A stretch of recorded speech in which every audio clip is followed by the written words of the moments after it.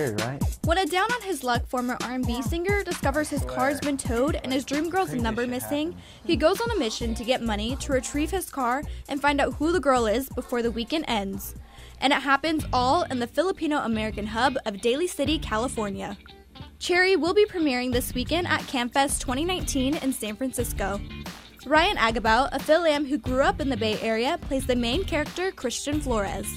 We felt it was important to, to film this in Daly City just because there was such a huge, for one, there's a huge concentration of Filipinos here in Daly City, but also because like the the R&B, like the, the Filipino R&B scene was huge out here, you know? Taking place in the early 90s, this period piece aims to bring viewers back to the days before social media and smartphones existed. It's the music, it's the cars, it's the style. So it's really like a, it's like a nostalgia film, um, just to be able to bring people back to that time. Produced by Eugene Kim, the film consists of an all-Asian cast.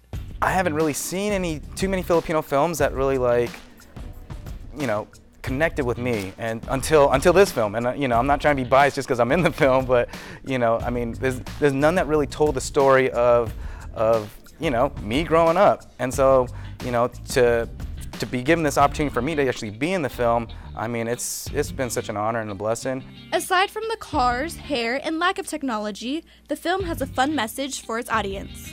I'd say the life lesson in this movie is just you know, not to take life so seriously because things will work out. The the car that he lost is a is a Mazda RX-7 and it's like it's like his prized possession. And so you know he's like stressing off that, stressing off this girl, and you know at the end everything kind of worked out.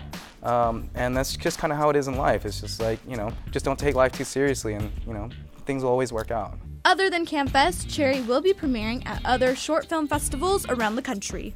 Kelly DeLeon, ABS-CBN News, Daly City, California.